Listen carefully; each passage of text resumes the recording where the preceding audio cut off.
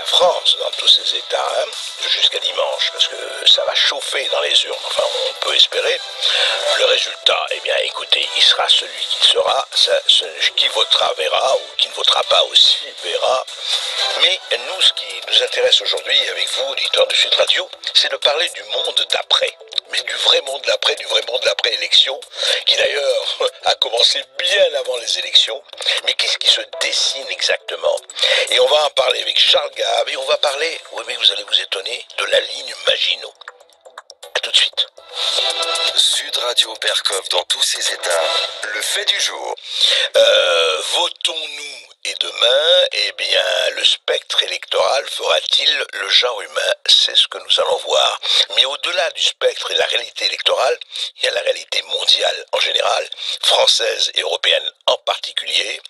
Alors, Charles Gave, euh, on a vu ce qui se passait et on a parlé avec vous déjà ici même sur effectivement les développements économiques, monétaires, financiers de ce qui se passe entre Ukraine et, et Russie.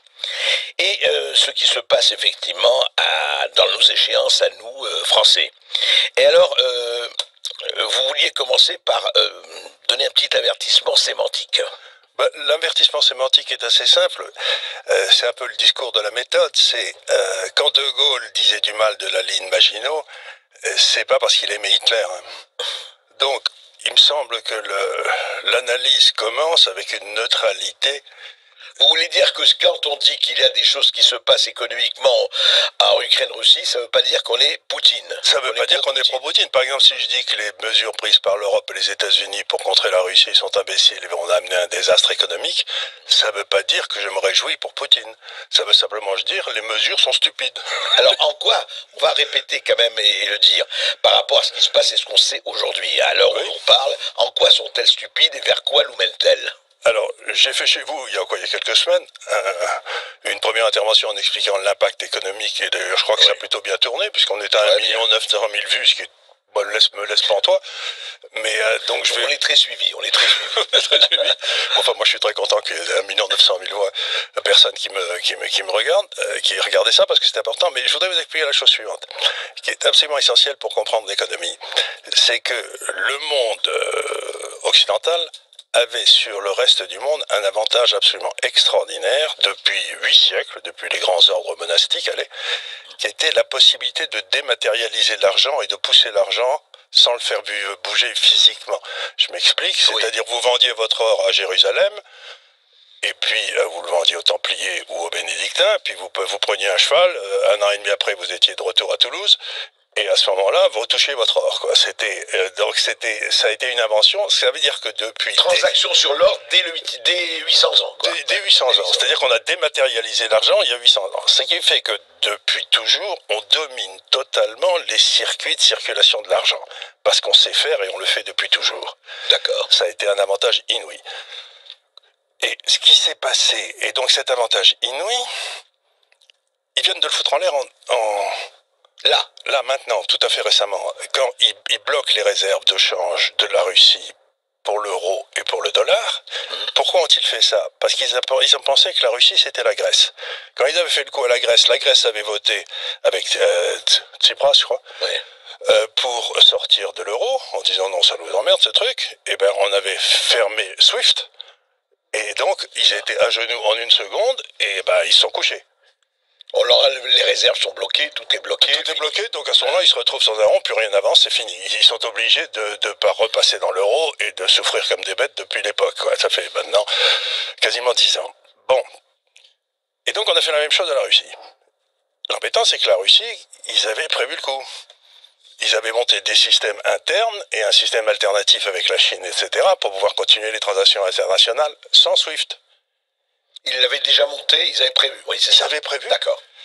Et donc, on a fait notre, euh, notre, on a fait péter notre bombe atomique.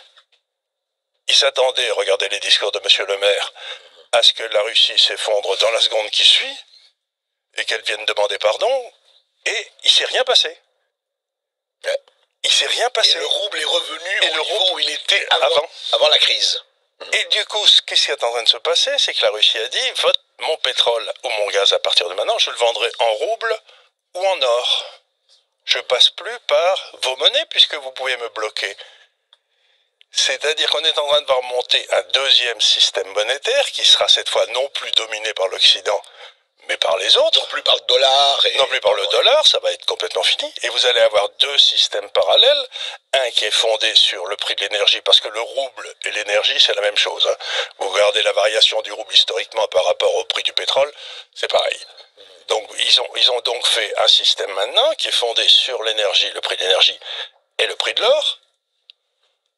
Et nous qui sera fondé sur des monnaies gérées par des, par des clampins complètement incompétents, nos banquiers centraux. Ouais.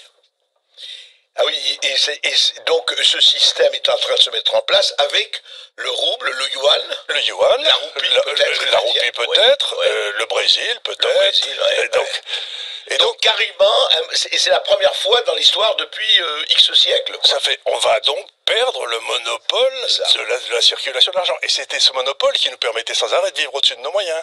Parce que du coup, comme on était au centre du système, on émettait des obligations qu'ils achetaient eux. Donc on avait un paradoxe extraordinaire, c'était que les pays pauvres achetaient les obligations chez nous, et nous on vivait au-dessus de nos moyens pendant qu'eux ils vivaient en dessous de leurs moyens. Ben c'est fini. Il va falloir qu'on se mette à vivre selon nos moyens. Ouais. Ah oui, c'est- c'est-à-dire le basculement a lieu en ce moment. En ce moment, vous allez voir, ça va faire mal. Et je lis un nombre de bêtises. Euh, mon ami Milton Friedman, après le crack de 87, avait publié un article dans le Wall Street Journal qui m'avait fait pleurer de rire, dans lequel il disait J'ai lu des tas d'imbécilités économiques dans ma vie, mais c'était juste après le crack. Mais alors, depuis que le crack a eu lieu, tous les records sont battus. Quoi. Et là, avec ce qui est en train de se passer, tous les records d'imbécilité économique sont en train d'être battus. Par exemple, on me dit ben, C'est pas difficile, on va envoyer des euros à une banque en, en Russie Oui, pour, acheter, pour continuer à acheter, pour acheter le le pétrole, pétrole. et le Il- gaz. Là-bas, la banque le changera immédiatement en rouble Mhm. et tout ira bien, donc il n'y aura pas de problème. Où est le problème? Je leur dis attendez une seconde. S'ils vous donnent des roubles, ça veut dire qu'en face, ils, ils vont mettre des euros, puisqu'ils ont reçu des euros. Ouais. Ils seront crédités d'euros. Ils seront débités en roubles, mais ils seront crédités en euros, non? Et oui. Et qu'est-ce qu'ils vont en faire de ces euros puisqu'ils sont bloqués? Ah oui, vous voulez dire que. Puisqu'on les a bloqués. Ouais. Donc, c'est une imbécilité, votre truc. Ils vont jamais accepter ça. Donc, la seule façon de payer, ça va être de donner de l'or. C'est ça. Puisque vous voulez donner des euros, on va dire on donne de l'or et voilà. Ben oui, mais l'or, à ce moment-là, ça veut dire que tout l'or qu'on a dans les caisses de nos banques centrales, en deux ans, il est siphonné. Alors les conséquences de ça, c'est c'est ça, c'est que le, le, le- On a deux blocs monétaires qui vont apparaître. Ouais. Un avec des monnaies sérieuses, qui seront, dont la quantité sera déterminée par la quantité d'or ou d'énergie que vous avez dans le pays. Et là-bas, ça va être l'or alors. Ben, ça va être l'or. Ouais. Et de l'autre côté, on a euh, des inflationnistes euh, qui veulent continuer à ne pas payer leurs dettes. Enfin, le dollar ne va pas disparaître comme ça fond. Ah, il va pas, il va pas, il va pas disparaître, bien sûr que non. Mais, mais ce qui nous a, ce qu'on a fait aussi, c'est que le deuxième avantage comparatif qu'on avait sur tous les autres pays, c'est qu'on avait ce qu'on appelle en anglais le rule of law. Vous savez, le La système, règle du droit. la règle du droit. La règle du droit, oui. Bon, ben alors, on se dit, et même pendant la Deuxième Guerre mondiale, les Allemands continuaient à aller tous les ans, tous les, tout le temps, à la BRI pour discuter avec les Américains, les Anglais, etc. Là, ce qu'on a compris, c'est donc la règle du droit s'appliquer à tout le monde, pour leurs biens, etc. Et puis on vient d'apprendre que, sauf si vous étiez russe, à ce moment-là, on vous pique tout. On bloque, on pique, ouais, c'est ça. On bloque, mais on a Donc la confiance s'est effondrée. Non, mais maintenant, vous êtes un bon euh, émir au Moyen-Orient. Ouais. Vous vous dites, si je commence à sentir des pieds, ils vont me piquer tout mon pognon. Non? Donc vous avez écroulé à la fois le- la croyance que ces gens avaient qu'on respecterait leurs actifs une fois Ouais. qu'ils seraient chez nous s'ils étaient obligés de partir vite de chez eux. Qui y avait un law qui discutait, un- un- une des règles qui là, qui existait. Euh, on a appris que euh, si, si on commençait à être fâché avec les États-Unis, ça marchait plus du tout. Et en plus, maintenant, on les force, et ils l'ont déjà fait, à aller vers un système monétaire que eux contrôleront et non plus ou nous. Mais pour se tirer une balle dans la tête comme ça, faut être compétent. hein. C'est quand même étonnant, quoi. Mais types réfléchissent pas Ils comprennent pas Ouais, c'est assez étonnant. En fait, c'est-à-dire que ce basculement a eu lieu par l'aveuglement des uns et la prévision des autres. Enfin, je Euh, veux ben, dire, je- le Poutine qui avait vu ce qu'ils avaient fait à l'Iran, etc., et dont je me suis laissé dire que c'était un joueur d'échecs. Mais ça ne veut pas dire que j'en dis du bien. Hein. Non, non, mais je... on constate. Hein. Oh, je constate. Ça veut simplement dire qu'il a vu le coup arriver, qu'il a fait, ça fait trois, et, il a, ça fait huit ans qu'il avait des problèmes avec l'Ukraine. Ça fait huit ans qu'il nous disait, écoutez, si ça continue, je vais la rentrer dedans. Donc, il a tout mis en place en huit ans pour pouvoir la rentrer dedans. Donc, qu'est-ce que ça veut dire? Alors, juste, Charles, pour terminer avec ça, on, se reverra évidemment parce que c'est pas une affaire qui va s'arrêter demain. Oh, qu'est-ce que ça veut dire pour nous vivre sur nos moyens, non pas au-dessus, peut-être en dessous? Ça veut dire quoi pour l'Europe et ben, pour la France? Ça veut dire que depuis des années, depuis très très longtemps, et puis l'euro en avait, avait aidé ça aussi, on achetait des produits, des matières premières au pays, des voitures, etc., euh, à la Chine ou je sais pas quoi, et en leur, donnait, en leur échange, on leur donnait des petits bouts de papier coloriés qui s'appelaient nos monnaies. Hum. Et ces corneaux, ils étaient assez contents pour les prendre, et avec ces petits bouts de papier coloriés, s'ils en avaient trop, ils rachetaient nos obligations, ce qui fait que nos taux d'intérêt étaient plus bas, ce qui était notre avantage à nous. D'accord. Eh bien, ils vont plus accepter les bouts de papier colorés. Donc, il va falloir leur donner des produits en échange. Il va falloir que toutes nos balances commerciales passent à l'excellent. Et le produit, on n'en a pas. Et ben, en tout cas, il, en tout cas ça veut dire que nos monnaies, vont s'effondrer. Si vous comptez aller passer vos vacances en Thaïlande, d'ici deux ans, vous ne pourrez plus. Vous irez passer, c'est les Thaïlandais qui viendront passer leurs vacances euh, en, Corrèze. Hein. C'est ouais, c'est un sacré changement de paysage. Mais c'est inouï. Et on se l'est imposé à nous-mêmes. C'est inouï. Oui, c'est ça. on s'est vraiment. Euh... Il ne demandait rien. Ouais, ouais. Il ne demandait rien.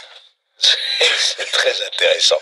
Comme quoi, hein, des, moutons dirigés par des, je ne sais pas, des lions menés par des ânes, et ben ça continue à se vérifier tous les jours. Hein. Absolument. Merci Jean Gave, en tout cas merci de ces éclaircissements, et on va continuer à en parler dans les semaines, dans les mois qui viennent. Et sachez que quel que soit le vainqueur ou la victorieuse euh, de, euh, de dimanche, ça ne changera rien. Rien. Et euh, ce que je voulais dire aussi, euh, avant de m'en aller, c'est que où, ça commence à se voir, parce que ça va amener un crack, les marchés obligataires des États-Unis et de l'Europe sont en train de s'écrouler. C'est-à-dire que le coût du capital commence à augmenter massivement en Europe et aux États-Unis. Parce que ces gens-là n'achètent plus nos trucs. Eh ben dis donc, et on est lendemain qui déchante, écoutez, on est... On est, on, est en tout cas, je souhaite bonne chance au prochain président. Hein. Et ça, c'est